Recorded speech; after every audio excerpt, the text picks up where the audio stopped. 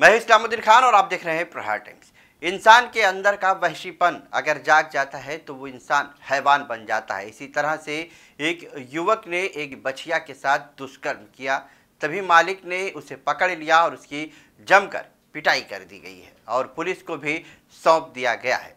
आपको बता दें कि ये पूरा मामला उत्तर प्रदेश के बिजनौर शहर के लैदरपुर गाँव का बताया जा रहा है और आरोपी का नाम आदित्य है।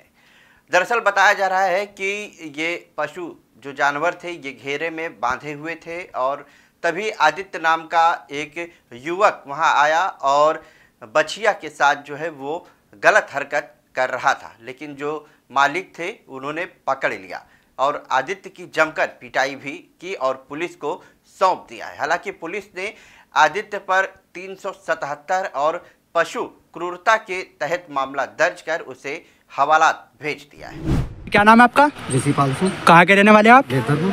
अच्छा ये जो मामला हुआ है बच्चे के साथ गलत काम का ये क्या मामला है पूरा? माँ बाबू जी तो कई साल से हो रहा था। अच्छा कौन कर रहा था इस काम को? ये है कई लड़का साहब जो पकड़ा क्या नाम है इसका? इसका नाम क्या नाम भाई लड़के का मैंने भी ध्यान से पकड़ा आदित्य। आदित्य। तो इसको आपने कैसा पकड़ा है? मैंने बाबू जी गोद घेरने आया था मैं गाय को तो छह लगा पड़ा था। अच्छा ये कब से फिर उसने मेरे साथ में क्या नाम हाथ तपाई करी। अच्छा आपके साथ हत्या भाई करी? तपाई करी मुझे धकेल मारा मैं नाल पे जा पड़ा। तो फिर आपने इसको इसकी सूचना पुलिस को दी? मैंने कहा पुलिस से सूचना थी तो पुलिस ने उसे अरेस्ट कर लिया है? जी।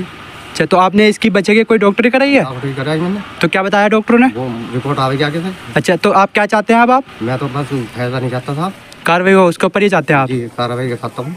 ठीक।